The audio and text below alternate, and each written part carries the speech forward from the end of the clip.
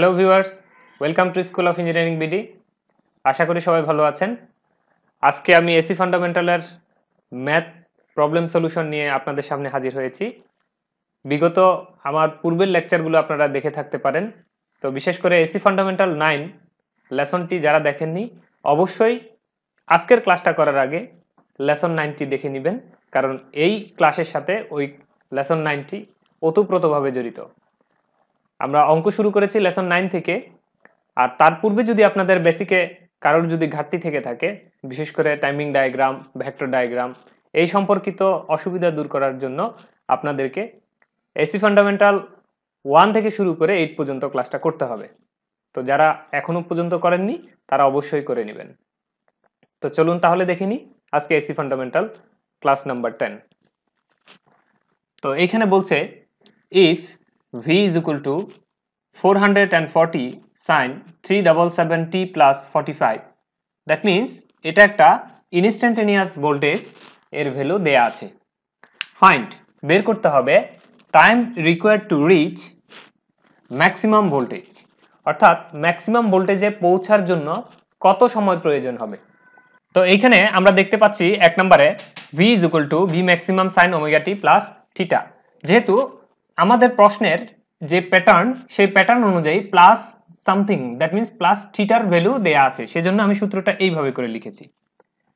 তো আমরা সবাই জানি v is equal to v maximum sine omega t plus theta তো এইখানে দেখুন, আমাদেরকে বলছে কি time required to reach maximum voltage that means maximum ভোল্টেজে পৌঁছার জন্য সে ফর এটা যদি ম্যাক্সিমাম হয়, এই ম্যাক্সিমামে পৌঁছার জন্য কত সময়ের প্রয়োজন হবে?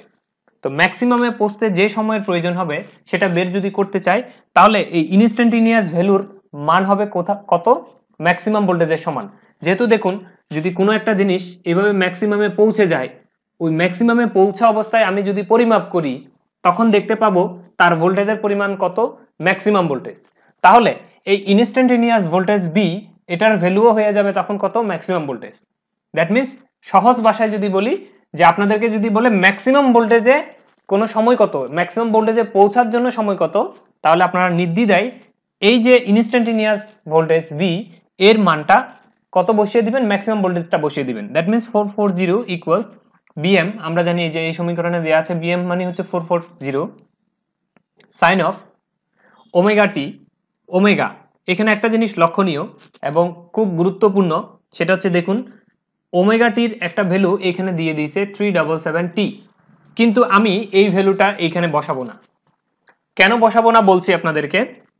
এখানে আমি যেটা বসাবো সেটা হচ্ছে two pi f that means two আমরা জানি কি ওমেগার value, omega is equal to হচ্ছে টু পাই এফ তাহলে দেখুন, এই টুটা ঠিক থাকবে পায়ের ভ্যালু হবে একশো আশি ডিগ্রি। আমরা জানি পায়ের মান যদি আমরা ডিগ্রিতে প্রকাশ করি, তাহলে হবে ওয়ান এইটি ডিগ্রি। যেহেতু আমরা এই সমাধানটা করার সময়, দেখুন থিটা কিসে আছে? ডিগ্রিতে আছে। তারপরে যখন আমরা এদিকে, এই সাইনটাকে কনভার্ট করে এদিকে আনব, এই ভ্যালুটাও ডিগ্রিতে বের হবে। দ্যাট মিনস এই যে ওমেগার ভ্যালুটা টু পাই পায়ের মান three point one four one six that means পায়ের রেডিয়ানে না বসিয়ে, তখন আমাদেরকে করতে হবে কি? ডিগ্রিতে বসাতে হবে। এটা কিন্তু মোস্ট ইম্পর্টেন্ট তো আপনারা শর্টকাট যদি আমি বলি যে এই ধরনের অঙ্কগুলোতে আপনারা পায়ের ভ্যালু নর্মাল পায়ে না বসিয়ে ডিগ্রিতে বসাবেন, যখন আপনাদেরকে টাইম বের করতে বলবে কিংবা এই সমীকরণ থেকে কিছু বের করতে বলবে তখন। তো তাহলে দেখুন সাইন টু পায়ের মান হচ্ছে one eighty degree into frequency হচ্ছে সিক্সটি আমি কোথায় পেলাম ফ্রিকোয়েন্সি সিক্সটি এই ওমেগা থেকে আমি আগেই ফ্রিকোয়েন্সি বের করে রেখেছি। তা আমি এটা নতুন করে দেখাচ্ছি না। আপনারা চাইলে এখান থেকে বের করতে পারেন। Omega is equal to two pi f two pi f আর ওমেগার ভ্যালু বসাবেন হচ্ছে three double seven equal to two pi f তখন এফ এর ভ্যালুটা পেয়ে যাবেন। এফ এর ভ্যালু হবে, এখান থেকে যদি আমরা সমাধান করি সিক্সটি তো আপনারা নিশ্চয়ই বুঝতে পেরেছেন এই লাইনটা থেকে এসেছে। আর থিটার ভ্যালু যেটা দেয়া আছে ফর্টি ফাইভ ডিগ্রি, এই ফর্টি ফাইভ ডিগ্রিটা আমরা এখানে বসিয়ে দিব।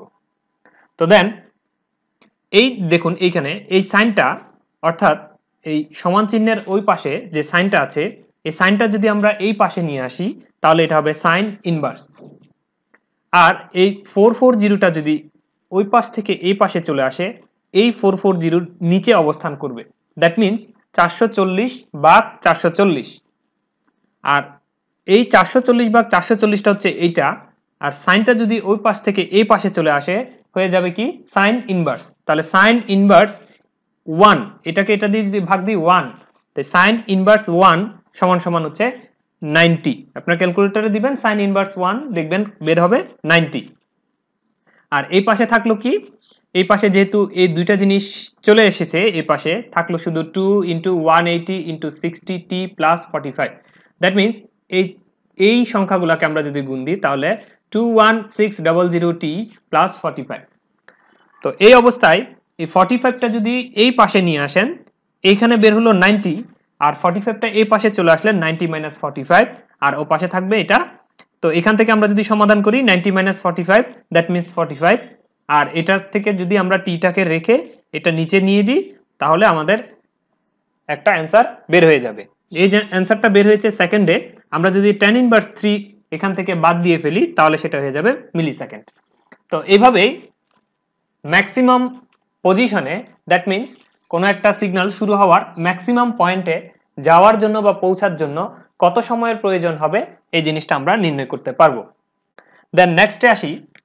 সেকেন্ড প্রশ্ন হচ্ছে after how long instantaneous voltage reach to hundred volt বলতেছে যে দুইশো ভোল্টে পৌঁছার জন্য ইনস্ট্যান্টেনিয়াস ভোল্টেজের মান দুইশো ভোল্টে পৌঁছার জন্য কত সময়ের প্রয়োজন হবে?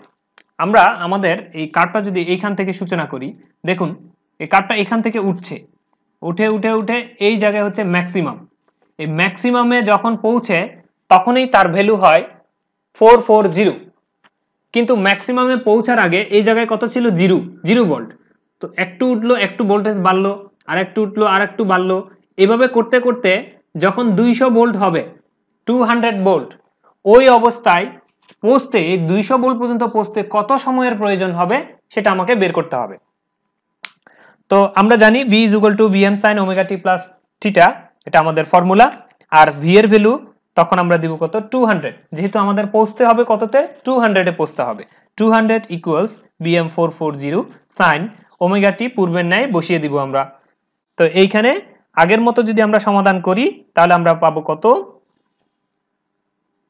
T equals minus eight point three one six into ten inverse four second এটাকে আমরা যদি সমাধান করি negative zero point eight three into ten inverse three second এই অংশটুকু আপনারা খেয়াল করুন, এখানে কিন্তু অ্যান্সারটা নেগেটিভ নেগেটিভের অর্থ কি? আসলে টাইম কি নেগেটিভ হতে পারে?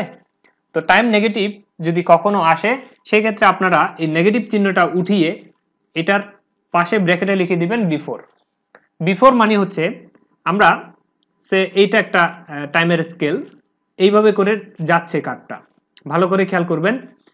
আমি স্কেল দিয়ে রেখেছি এইখানে, দেখুন, আমার স্কেলটা হচ্ছে এই জায়গায়।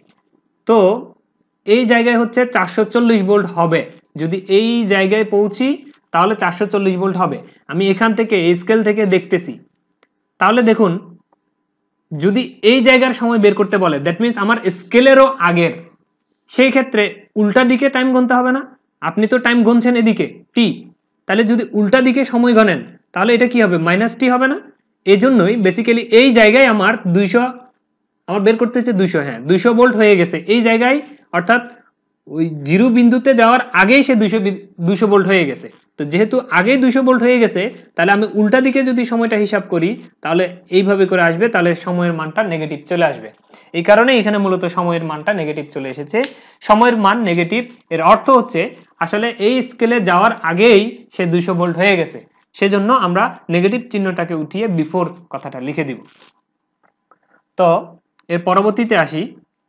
এই তিন নাম্বার, এই জিনিসটা কিন্তু মোস্ট ইম্পর্টেন্ট আমি বারবার বলে নিচ্ছি, আপনারা যারা আমার এই ক্লাসটা দেখছেন, তারা খুব তীক্ষ্ণ নজর দিন এই জায়গায়।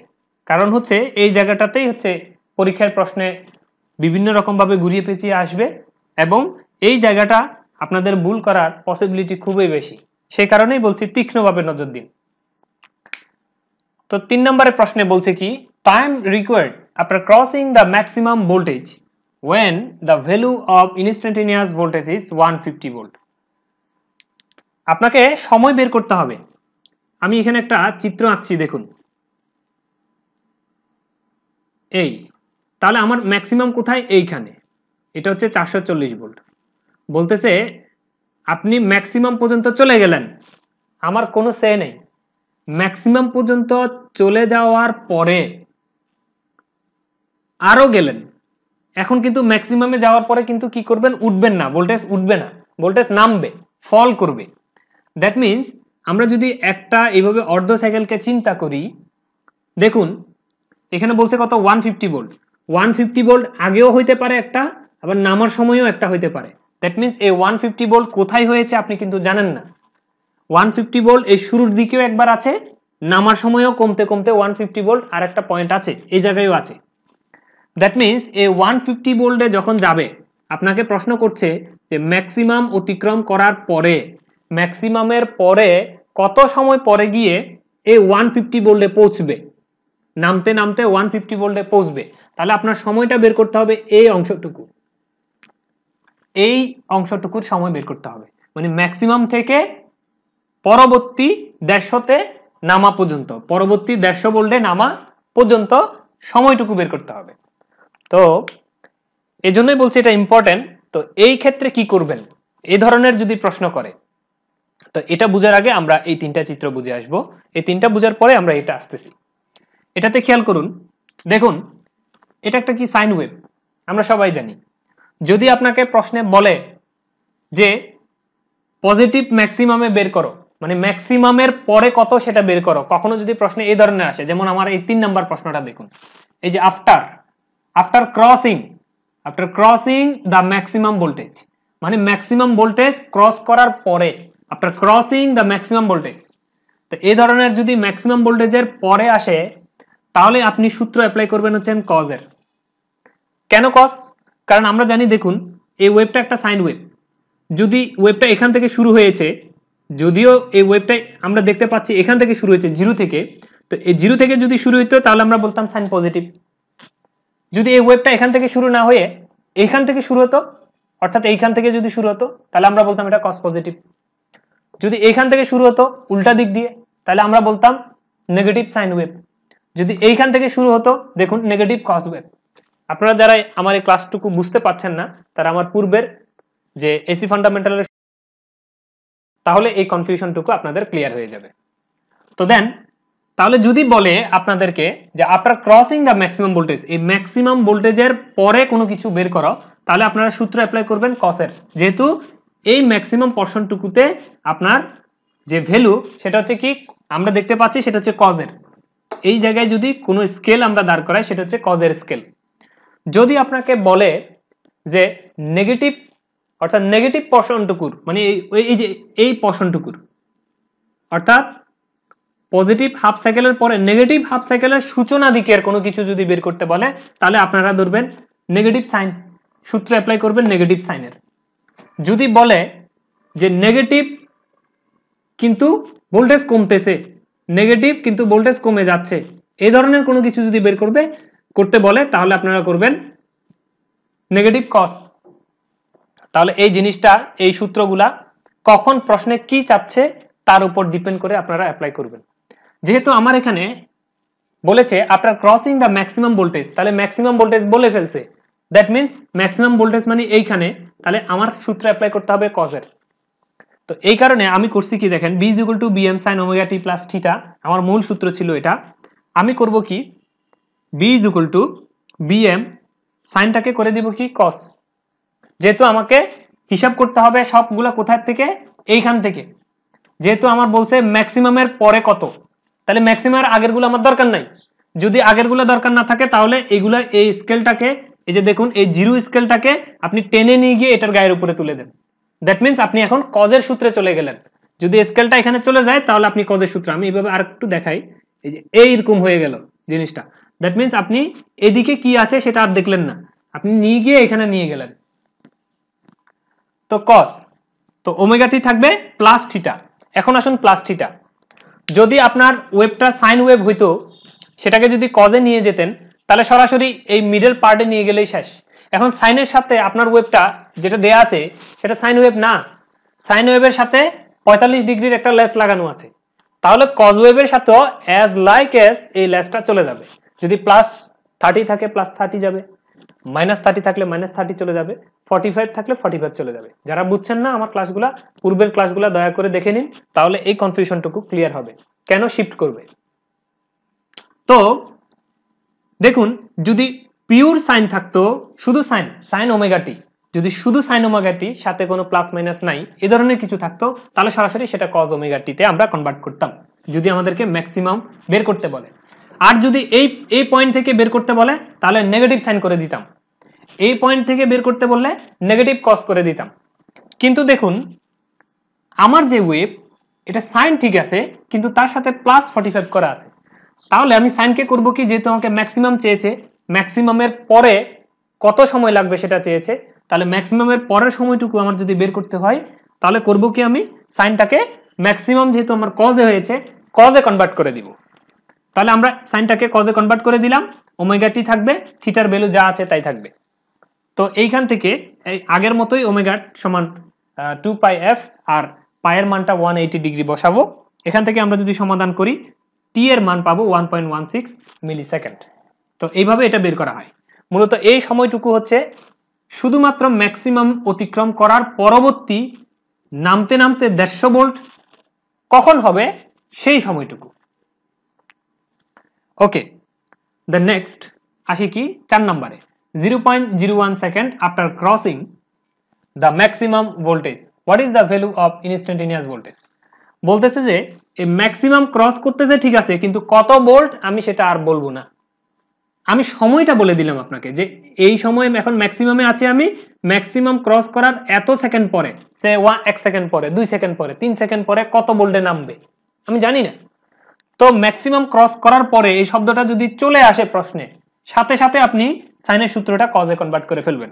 তাহলে করবেন কি? V equal to four four zero cos two into one eighty sixty into টাইমের একটা ভ্যালু তারা দিয়ে দিয়েছে। দেখুন, এত সেকেন্ড পরে after zero point zero one second crossing the maximum voltage তাহলে ম্যাক্সিমাম ভোল্টেজ ক্রস করার এত সেকেন্ড পরে আপনার ভোল্টেজটা কত হবে? তাহলে এত সেকেন্ড পরে যদি হয়, তাহলে টাইমের ভ্যালুর সেকেন্ডটা আমরা বসিয়ে দিব। টিটা যাই আছে, তাই থাকবে। সেইখান থেকে এই ভি দ্যাট মিনস ইনস্ট্যান্টেনিয়াস ভোল্টেজটা কত বের করব? যেটা, এটা হচ্ছে ওয়ান ভোল্ট তো এইভাবে করে বের করা হয়। তো আমরা, আমি কিছুক্ষণ আগে যেটা বলেছিলাম, এই জিনিসটা এখানে আমি চিত্র দিয়ে দেখিয়েছি। দেখুন, যে পিওর যদি সাইন থাকতো, যদি কেউ ম্যাক্সিমাম থেকে বের করতে বলে, তাহলে আমরা কজে নিয়ে যেতাম। যদি জিরো থেকে, অর্থাৎ নেগেটিভের শুরুর নেগেটিভ পর্শন শুরুর দিকে বের করতে বলে নেগেটিভ সাইনে নিয়ে যেতাম। সরাসরি এই জায়গায় আমরা বিএম সাইন ওমেগা টি না লিখে minus VM sine omega t লিখে ফেলতাম তখন।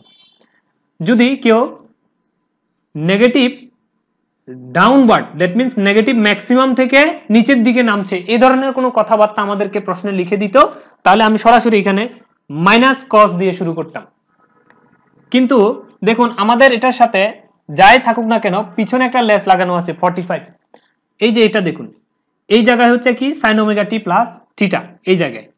তাহলে এটা যদি আমরা কনভার্ট করি, এটার মতো যদি এই যে সাইনটাকে কনভার্ট করে কসে নিলাম, এটাকেও যদি কনভার্ট করি, তাহলে cos omega t plus theta হবে।